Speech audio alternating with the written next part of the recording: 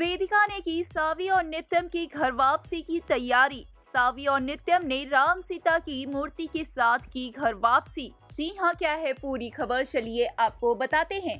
दरअसल हम बात कर रहे हैं कलर्स टीवी के one of the most popular show Saavi ki Savaari की, जिसके अपकमिंग ट्रैक में हम यह देखेंगे कि वेदिका सावी और नित्यम को लेकर घर पर आती है और सावी और नित्यम का ग्रैंड वेलकम कराती है। सावी और नितिन के स्वागत में वेदिका ने खूब अच्छी सजावट की है और साथ ही बैंडवाजों को भी बुलाया है। सावी और नितिन ग्रैंड एंट्री करते हैं और हाथों में राम सीता की वही मूर्ति लेकर आते हैं, जो मूर्ति वेदिका ने सावी और नित्यम को घर से निकलते हुए दी थी और इस मूर्ति को पूजा घर पर रखते हुए सावी और नित्यम इसकी पूजा करते हैं, जहाँ पे सभी घर वाले भी एक होते हुए नज़र आते हैं।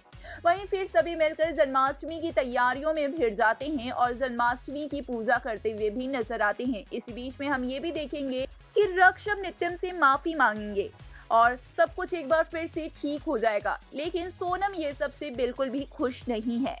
सोनम अब भी सावी से बदला लेना चाहती है। वहीं जन्माष्टमी की पूजा के दौरान सावी अचानक से बेहोश होगी और कहीं ना कहीं एक गुड न्यूज़ सामने आएगी कि सावी प्रेग्नेंट है, यानी कि सावी नितिन के बच्चे की माँ बनने वाली है। वेल, इस पे क्या है आपकी राय? हमें कमेंट्स के ज़रिए ज़रूर बताएँ। साथ ही ऐसे और तमाम खबरों के लिए चैनल को सब्सक्राइब करना बिल्कुल भी ना भूलें।